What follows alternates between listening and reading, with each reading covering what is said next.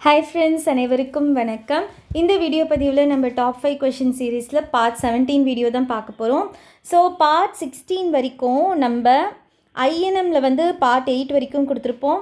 அதே மாதிரி polity polity வந்து அகெயின் ஒரு எயிட் வீடியோஸ் ஸோ டோட்டலாக வந்து எயிட் எயிட் சிக்ஸ்டீன் வீடியோஸ் வந்து டாப் ஃபைவ் கொஷின் சீரீஸில் பார்த்துருப்போம். இப்போ டாப் செவன் பார்ட் செவன்டீனில் வந்து டாப் ஃபைவ் கொஷின்ஸில் பார்ட் செவன்டீன்லேருந்து உங்களுக்கு ஹிஸ்ட்ரி வீடியோஸ் வந்து வரும். சரிங்களா? ஸோ ஹிஸ்ட்ரி சம்மந்தமான எல்லா கேள்விகளுமே வந்து நம்ம பார்க்க போகிறோம் ஓகே வித்தவுட் ஃபர்தர் டிலே நம்ம என்ன பண்ணிடலாம்? கொஷின்குள்ளே போயிடலாம்.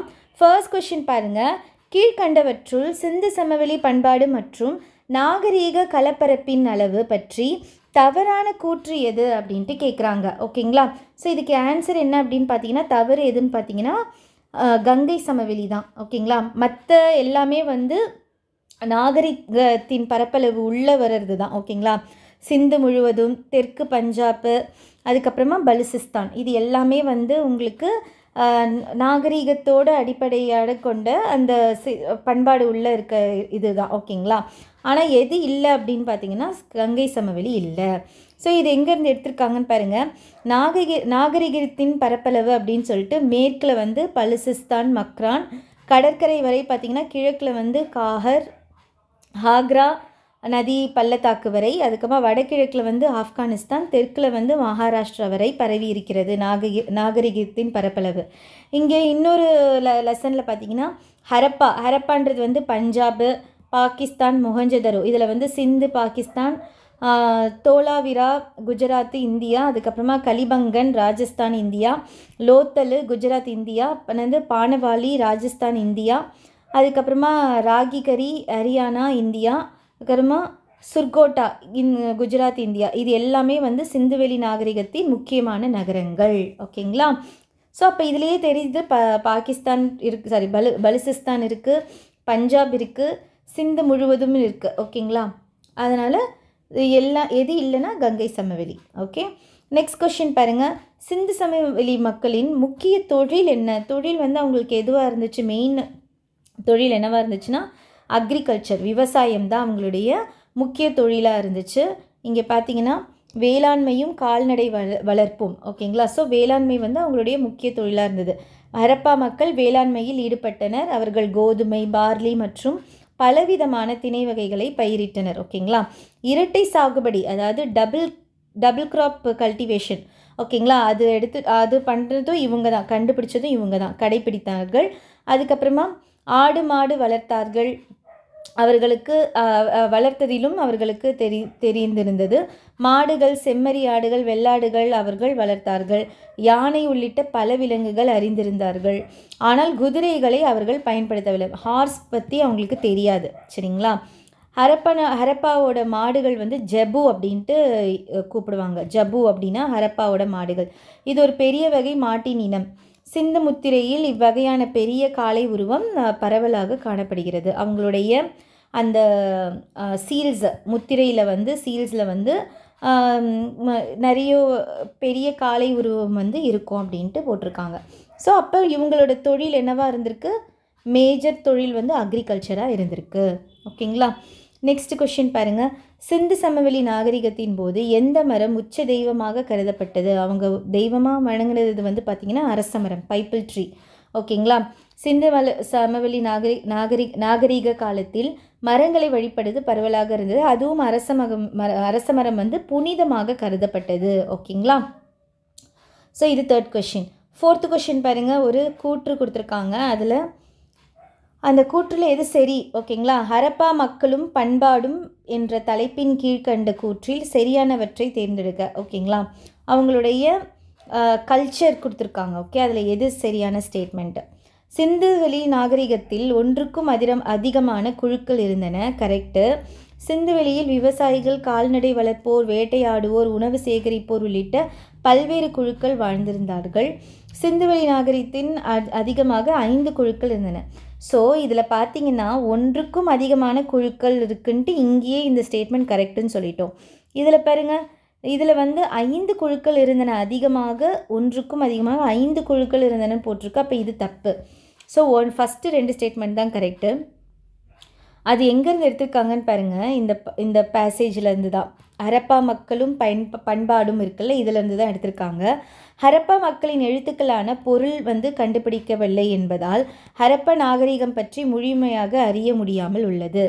அவர்கள் திராவிட மொழியை பேசினார்கள் என்று அறிஞர்கள் ஒரு சார் கூறுகிறார்கள். தொல்லிய ஆய்வுகள் நாகரிகரித்தன் வீழ்ச்சிக்கு பிறகு அவர்கள் கீழ் கிழக்கு நோக்கியும் தெற்கு நோக்கியும் இடம்பெயர்ந்த காணுகி காட்டுகின்றன. ஹரப்பா மக்கள் சிலர் பல்வேறு இந்தியாவின் பல்வேறு இடங்களிலும் குடிபெயர்ந்த வாய்ப்புகள் உள்ளது. உண்டு. அவர்களது எழுத்துக்களுக்கு பொருள் கண்டுபிடிக்கப்பட்டால் மட்டுமே பல கேள்விகளுக்கு உறுதியான பதில் கிடைக்கும் அப்படின்னு சொல்லியிருக்காங்க.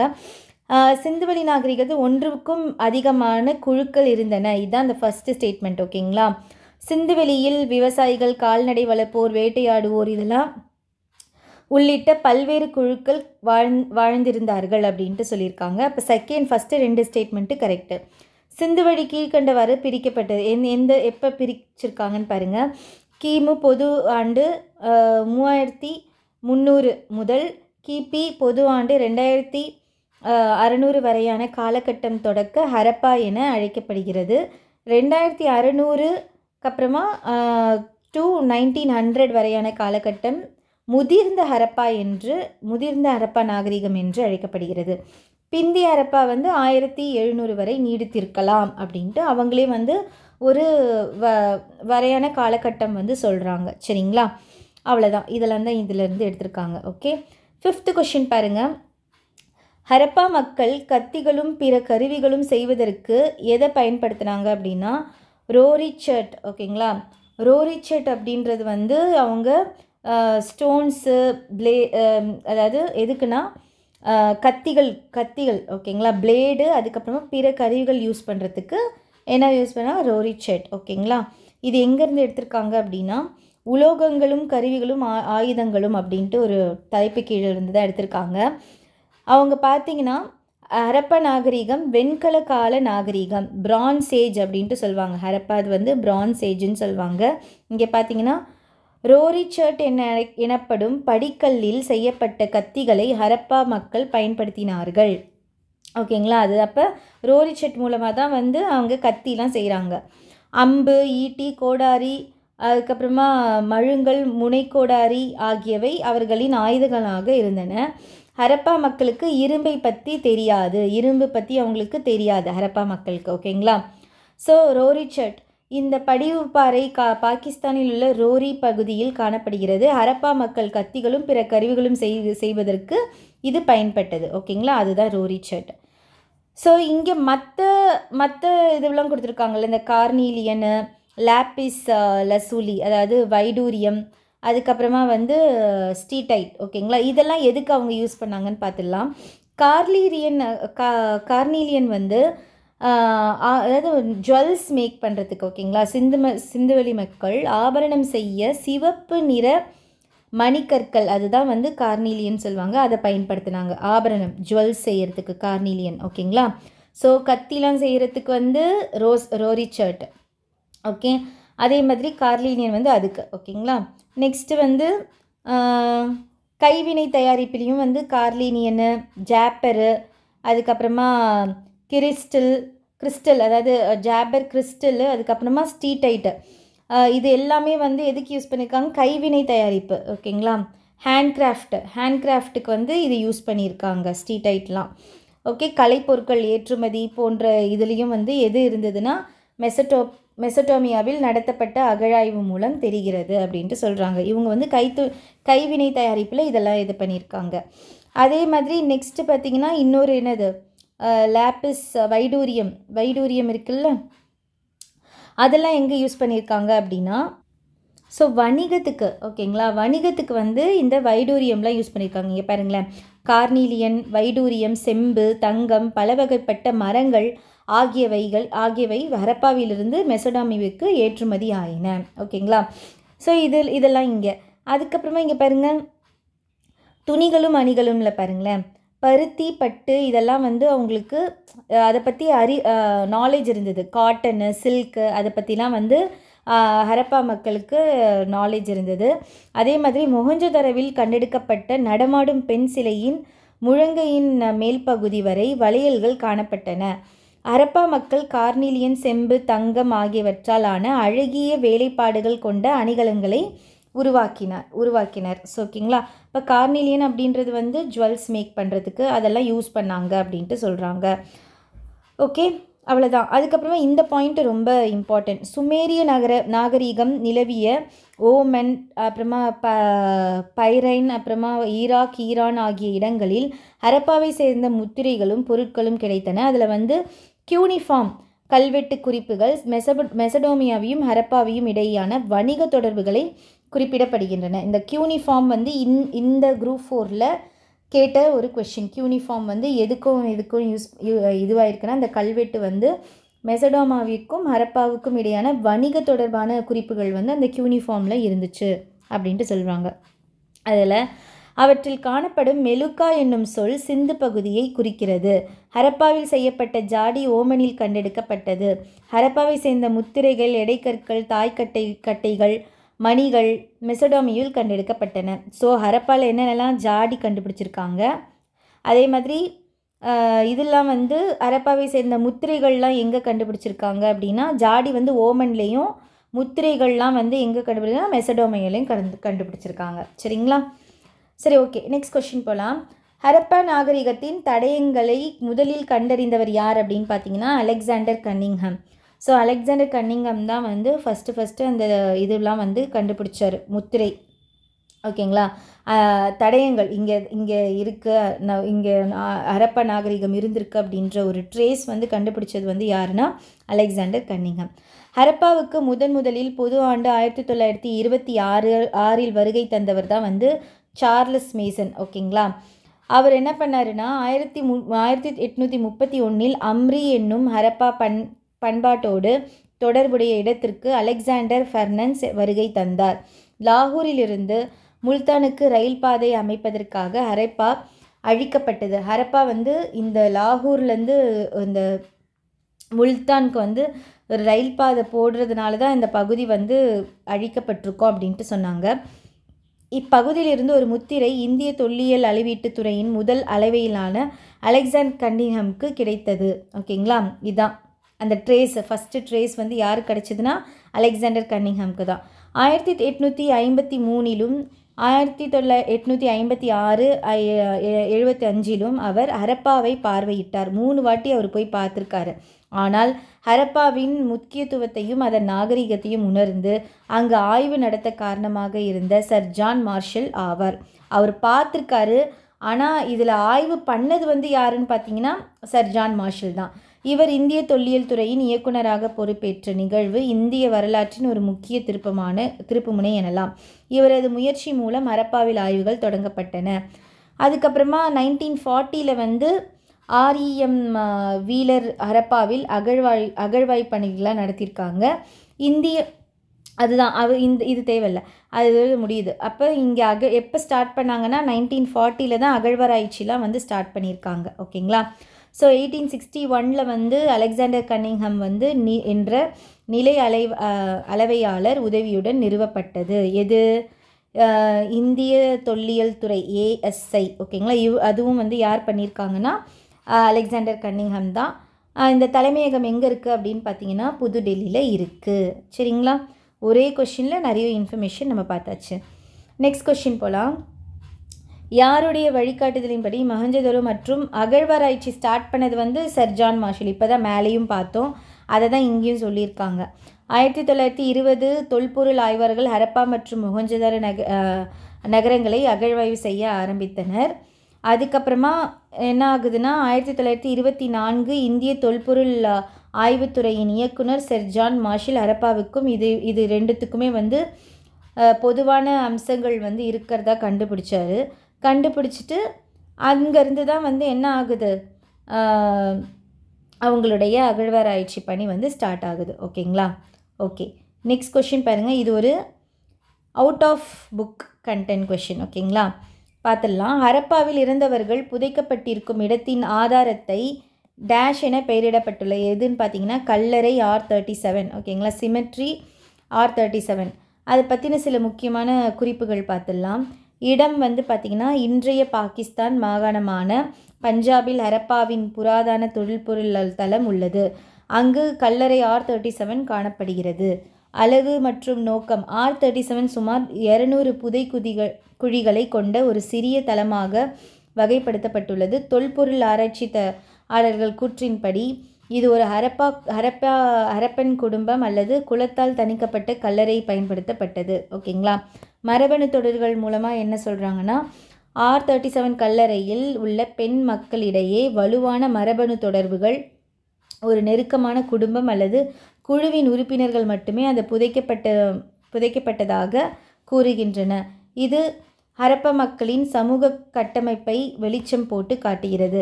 உயர்ந்த சமூக அந்தஸ்து மற்றும் வர்க்கம் உள்ளவர்கள் வித்தியாசமாக நடத்தப்பட்டனர் மற்றும் அவர்களது சொந்த புதைக்குழியை கொண்டிருந்தனர்.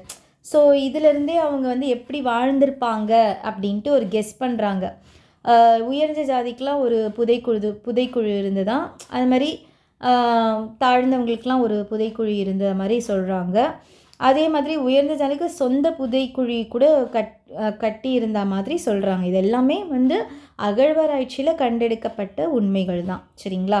ஓகே நெக்ஸ்ட்டு பாரலாம். முதன் முதலில் ஆயிரத்தி எட்நூற்றி இருபத்தி ஆறில் யார் வந்தா அப்படின்னு பார்த்தீங்கன்னா ஹரப்பாவுக்கு சார்லஸ் மேசன். ஃபஸ்ட்டு ஃபஸ்ட்டு அவர் தான் வந்தார் சரிங்களா? அதான் இங்கே கொடுத்துருப்பாங்க. ஹரப்பா நாகரிகத்தின் இடிபாடுகளை முதன் முதலில் சார்லஸ் மேசன் என்ற ஆங்கிலர் தமது நூலில் விவரித்தார். அவர் கிழக்கிந்திய கம்பெனியில் பணிபுரிந்த படை வீரரும் ஆராய்ச்சியாளரும் ஆவார். அவர் தற்போது பாகிஸ்தானில் உள்ள இந்தியாவின் வடமேற்கு பகுதியில் பார்வையிட்ட போது சில செங்கல் தேட்டுக்கள் இருப்பதை கண்டனர். அந்த பாழடைந்த செங்கற்கோட்டை உயரமான சுவர்களும் கோபுரங்களும் ஒரு மலை மீது கட்டப்பட்டுள்ளது என குறிப்பிட்டார். இதுதான் ஹரப்பா இருப்பதற்கான முதல் வரலாற்று ஆதாரம். இதுதான் ஃபஸ்ட்டு ஃபஸ்ட்டு அங்கே போனது முதன் முதல்ல வருகை தந்தது யாருன்னு பார்த்தீங்கன்னா சார்லஸ் மேசன் அவர்கள் தான். சரிங்களா? ஓகே. அதே மாதிரி குஜராத் மொழியில் லோத்தல் என்பதன் என்பதில் லோத் அப்படின்றதுக்கு பொருள் என்ன அப்படின்னா இறந்த அப்படின்ட்டு அர்த்தம் ஓகேங்களா? ஸோ லோத்தல் பற்றி சில இன்ஃபர்மேஷன் பார்த்தலாம் குஜராத் மாநிலத்தின் அகமதாபாத் மாவட்டத்தில் அகழ்வராய்ச்சியின் போது எஸ் ஆர் ராவ் என்பவரால் கண்டுபிடிக்கப்பட்ட இடம்தான் லோத்தல் ஓகேங்களா? இந்த லோத்தல் தான் வந்து இவர் தான் கண்டுபிடிச்சாரு அகழ்வாராய்ச்சியின் போது. இவ்விடமானது சிந்துவெளி மக்கள் நாகரிக காலத்திருந்த துறைமுகமாகும். ஒரு ஹார்பர் மாதிரி ஓகேங்களா உலக உலகில் மனிதனால் உருவாக்கப்பட்ட முதல் செயற்கை துறைமுகமே இதுதான். அதுதான் வந்து லோத்தல் ஓகேங்களா இத்துறைமுகம் மூலமாக எகிப்து மெசடோமியா உள்ளிட்ட பல நாடுகளின் வாணிபம் வந்து இந்த துறைமுகம் மூலமாக நடந்துட்டு வந்துச்சு அப்படின்ட்டு சொல்கிறாங்க ஓகே நெக்ஸ்ட் கொஷின் போயிடலாம். ஹரப்பா நாகரிகத்தில் பயன்படுத்தாத உலோகம் தெரியும் நமக்கு எல்லாமே இரும்பு தான் மற்ற எல்லாமே அவங்களுக்கு தெரிஞ்சு இருந்த தெரிஞ்ச ஒரு இதுதான். பயன்படுத்தாத இரும்பின் பயன் பற்றி சிந்துவெளி மக்களுக்கு தெரியாது. ஓகேங்களா? அயன். நெக்ஸ்ட்டு பாருங்கள் பின்வருவனற்றில் தவறான கருத்தை குறிப்பிடுகன்னு சொல்கிறாங்க எது தவறு அப்படின்னு பார்த்துடலாம். சிந்து முத்திரைகள் இதுவரை முழுமையாக புரிந்து கொள்ள முடியவில்லை. கரெக்டு அதே மாதிரி சிந்து சமவெளி நாகரிகம் ஒரு குறிப்பிட்ட நகர கலாச்சாரம் ஆகும். Correct it's a notable urban culture correct next சிந்துவெளி மக்கள் அதிக அளவிலான அளவை முறை அளவு முறைகளை பயன்படுத்தினார்கள். வெயிட்ஸ் நிறைய வெயிட்ஸ் வந்து அவங்களுக்கு தெரியும். அதே மாதிரி சிந்துவெளி மக்கள் இரும்பை பயன்படுத்தும் கலையை அறிந்தனர். அவங்களுக்கு இரும்புனாலே என்னன்னே தெரியாது. அப்போ எடு தெரிந்து எடுத்தோன்னே தெரிஞ்சிச்சு இதை இரும்பு பற்றி தெரியும்னு போட்டிருக்கு. அப்போ இதான் தவறுன்ட்டு. ஸோ ஃபோர்த் ஸ்டேட்மெண்ட் மட்டும்தான் தவறு. சரிங்களா? ஓகே நெக்ஸ்ட் வந்து கூற்று காரணம். சிந்து மக்கள் உலோக நாணயத்தை பயன்படுத்தவில்லை. உலோக நாணயங்கள் உருவாக்கும் தொழில்நுட்பம் அவர்களிடம் இல்லை. ஸோ ஃபஸ்ட்டு ஸ்டேட்மெண்ட் வந்து சரி அவங்க பயன்படுத்தலை. ஓகேங்களா? ஆனால் செகண்ட் ஸ்டேட்மெண்ட் வந்து ஃபால்ஸு உலோக நாணயங்கள் உருவாக்கும் தொழில்நுட்பம் அவர்களிடம் இல்லைன்றது வந்து ஃபால்ஸு ஓகேங்களா? இதெல்லாம் வந்து out of book content out of book questions நான் உங்களுக்கு அப்படியே எடுத்துகிட்டு வந்திருக்கேன். தெரிஞ்சுக்கோங்க அப்படின்ட்டு. நெக்ஸ்ட்டு பாருங்கள் சிந்துவெளி நாகரிகன் தொடர்பான எது தவறாகும் கேட்டிருக்காங்க. இங்கே பொருள் நகரம் இருக்குது சங்கு நாகேஸ்வர். இது வந்து இதில் வந்து அப்படியே எடுத்திருக்காங்க. சங்கு நாகேஸ்வர். வைடூரியம் ஷார்டுகை. ஓகேங்களா? வைடூரியம் ஷா ஷார்டுகை. அதுக்கப்புறமா கார்லீனியன் கார்லீனியன் வந்து லோத்தல். ஆனால் கார்லீனியன் வந்து இங்கே என்னன்னு கொடுத்துருக்காங்க? ஓமன் கொடுத்துருக்காங்க. அப்போ தேர்ட் ஒன் தான் தப்பு. ஸ்டீடைட் வந்து ராஜஸ்தான். ஸ்டீடைட் வந்து ராஜஸ்தான் கரெக்டு செம்பு செம்பு வந்து ராஜஸ்தான் ஓமன் ரெண்டுமே இருக்குது ஸோ இந்த ஒரு பர்டிகுலர் பாக்ஸ்லேருந்து தான் இந்த ஒரு பொருத் மேட்ச் வந்து எடுத்திருக்காங்க. ஓகேங்களா? அப்போ கார்னீலியன் வந்து உங்களுக்கு ஓமன் கிடையாது லோத்தல். ஓகேங்களா? சரி. நெக்ஸ்ட்டு பார்க்கலாம். நெக்ஸ்ட் கொஷினு டேஷ் ஓர் உயர்ந்த மேடை மீது நன்கு திட்டமிட்டு கட்டப்பட்ட ஒரு நகரம். எதுன்னு பார்த்தீங்கன்னா மொஹஞ்சதரோ இந்த லைன் இங்கே இருக்குது பாருங்கள் மொஹஞ்சதரோ ஒரு உயர்ந்த மேடை மீது கட் நன்கு திட்டமிட்டு கட்டப்பட்ட நகரம். அது கோட்டை பகுதியாகவும் தாழ்வான நகரமாகவும் இரு வேறுபட்ட பகுதிகளை கொண்டுள்ளது. வீடுகள் செ சுட்ட செங்கற்களால் தளமடிக்கப்பட்ட குள் குளியலறையும் சரியான கழிவு நீர் வடைகாலும் இருந்தன. மேல்தளம் இருப்பதை உணர்ந்து தும் வகையில் சில வீடுகள் படிக்கட்டுகள் கொண்டிருந்தன. ஸோ அப்போ ஒரு உயர்ந்த மேடை வந்து என்ன இந்த மொஹஞ்சதரோ தான். ஓகேங்களா? நெக்ஸ்ட்டு ஹரப்பா முத்திரைகள் காணப்படும் முத்திரைகள் என்னென்னன்னு பார்த்தீங்கன்னா யானை இருந்துச்சு நீர் யானை இருந்தது யானை இருந்தது புலி இருந்தது ஒட்டகம் இருந்தது. எல்லாமே இருந்துச்சு அவங்களுடைய முத்திரைகளில். நாலுமே இருந்துச்சு. ஓகேங்களா? நெக்ஸ்ட்டு பாருங்கள் சிந்து வியாபாரிகள் மெசடாமியாவில் தங்கினர். பருத்தி தங்கங்களுடன் தங்க தங்களுடன் கொண்டு சென்றனர். ரெண்டுமே கரெக்டு தான். ஓகேங்களா அவங்களுக்கு காட்டன் சேல்க்காக தான் அவங்க இதுக்கு போனாங்க. அது இங்கே கொடுத்துருப்பாங்க. ஹரப்பா பண் பண்பாடு மக்கள் பருத்தி மற்றும் பட்டு பற்றி அறிந்திருந்தனர். உலோகத்திலும் கல்லுமான அணி அணிகலன்களை பயன்படுத்தினார்கள். அவர்கள் செம்மணிக்கள் கார்னீலியன் செம்பு மற்றும் தங்கத்திலான அணிகலன்களை செய்தார்கள். அதுக்கப்புறமா என்ன சொல்கிறாங்கன்னா கல் அணிகலன்கள் சங்கு வளையல்கள் சிலவற்றில் அணி வேலைப்பாடுகளும் செய்யப்பட்டிருந்தன. இவற்றில் அவர்கள் மெசடாமிவிற்கு ஏற்றுமதி செய்தார்கள். ஓகேங்களா? ஸோ பருத்தி எல்லாமே அவங்க வந்து என்ன பண்ணுறாங்க ஏற்றுமதிக்கு எங்கே இருந்துன்னா மெசடாமியிலேருந்து தான். ஓகேங்களா? நெக்ஸ்ட் வந்து அவங்களுடைய கட்டிடக்கலை பற்றின சரியான கூற்று எதுன்னு கேட்குறாங்க சரிங்களா? முகஞ்சதரவில் கட்டிடத்தின் கட்டமைப்பில் ஏழு நிலைகள் காணப்பட்டிருந்தன. ஏழு நிலைகள். கரெக்டு. செவன் செவன் போட்டிருக்காங்க. ஆனால் இங்கே நயன் போட்டிருக்காங்க. இது எத் எத்தனை நிலைகள் அப்படின்னா கரெக்டானது கரெக்ட் எதுனா? ஸோ இதில் பார்த்தீங்கன்னா நமக்கு வந்து தமிழில் வந்து ஏழு நிலைகள் காணப்படுகிறதுன்னு போட்டிருக்கு. ஆனால் இங்கிலீஷில் வந்து நைன் ஸ்ட்ரக்சர் ஆஃப் பில்டிங் கொடுத்துருக்காங்க. ஸோ இதில் புக்கில் கொடுத்துருந்தாங்கன்னா எனக்கு வந்து நீங்கள் நான் கமெண்ட் செஷனில் போடுங்க. நான் வந்து உங்களுக்கு அதை கமெண்ட் அப்ரூவ் பண்ணுறேன் சரிங்களா? Okay next stay next statement பாருங்கள் முகஞ்சதரோ கட்டி அடித்தளம் சிறிய மாறுதல்கள் காணப்படுகின்றது. ஓகேங்களா கிரவுண்ட் பிளான் வந்து மைனர் வேரியேஷனோடு இருக்குதுன்னு சொல்லியிருக்காங்க. இது கரெக்டு சிந்து சமவெளி முத்திரைகள் அந்த காலத்தில் மாற்றம் பெறவில்லை. அதுவுமே கரெக்டு. அப்போ எது தப்பு அப்படின்னா ஃபோர்த்து ஸ்டேட்மெண்ட்டு தான். சிந்து சமவெளி நாகரிகத்தில் ஹரப்பா மற்றும் முகஞ்சதரோவில் கல் கட்டிடங்கள் காண கிடைக்கின்றனன்னு சொல்லியிருக்காங்க. கல் கிடையாது. அவங்க வந்து பிரிக்ஸ் தான் யூஸ் பண்ணாங்க. செங்கல் தான் யூஸ் பண்ணாங்க. செங்கல் வச்சு தான் வந்து அவங்களுடைய கட்டிடங்கள்லாம் கட்டினாங்க. கல் வச்சு கிடையாது. சரிங்களா? அதனால் ஃபோர்த்து ஸ்டேட்மெண்ட் மட்டும் தவறு ஓகேங்களா? அது இங்கேயே கொடு கொடுத்துருப்பாங்க பாருங்கள் வீடுகள் சுட்ட செங்கற்களாகவும் சுண்ணாம்பு கலவையாலும் கட்டு கட்டப்பட்டிருந்தன. ஓகேங்களா? ஸோ இதிலிருந்தே நமக்கு தெரியுது அவங்க வந்து கல் யூஸ் பண்ணலை சுட்ட செங்கற்கள் அதுதான் யூஸ் பண்ணியிருக்காங்க பிரிக்ஸு ஓகே? ஓகே இதோடு வந்து நம்ம எயிட்டீன் கொஷின்ஸ் வந்து நம்ம எடுத்துகிட்டு வந்திருக்கேன் இந்த ஃபஸ்ட்டு பார்ட் ஒன் வீடியோவில் ஸோ எயிட்டீன் கொஷின்ஸுமே வந்து சிந்து சமவெளி நாகரிகம் அதாவது இண்டஸ் வேலி சிவிலைசேஷன் பற்றி நான் மட்டும்தான் எடுத்துகிட்டு வந்திருக்கேன். ஸோ உங்களுக்கு இது பார்க்கும்போது ஒரு ஒரு அளவுக்கு வந்து எல்லா கொ எல்லா ஏரியாவுமே நம்ம அந்த பர்டிகுலர் லெசனில் இருக்க எல்லா ஏரியாவுமே கவர் ஆன மாதிரி தான் இருந்திருக்கும். அடுத்தடுத்த வீடியோவில் உங்களுக்கு நான் அடுத்தடுத்த டாப்பிக்லேருந்து நான் எடுத்துகிட்டு வரேன். எல்லா கொஷின்ஸுமே நம்ம பார்க்கலாம். ஓகேங்களா ஹிஸ்ட்ரி வந்து இந்த மாதிரி நம்ம முடிச்சிடலாம். இப்போ சிந்து செமவெளி நாகரிகமாக நெக்ஸ்ட்டு குப்தர்கள் இந்த மாதிரி ஒரு ஒரு நாளைக்கு வந்து நம்ம அப்படி நம்ம கம்ப்ளீட் பண்ணிடலாம். ஓகே ஃப்ரெண்ட்ஸ் இந்த வீடியோ உங்களுக்கு பிடிச்சிருக்குன்னு நினைக்கிறேன். பிடிச்சிருந்தா லைக் பண்ணுங்கள் ஏதாச்சும் க இந்த அந்த ஒரு கொஷினுக்கு மட்டும் கமெண்ட் பண்ணுங்கள் எது கரெக்ட் அப்படின்ட்டு. அதே மாதிரி இந்த வீடியோவும் ஷேர் பண்ணிவிடுங்க தேங்க்யூ